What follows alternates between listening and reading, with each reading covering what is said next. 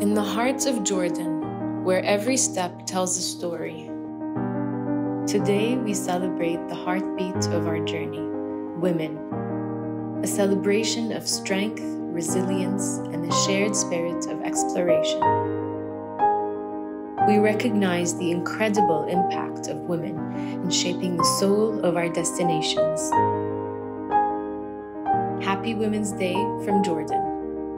May your adventures be as boundless as your spirits.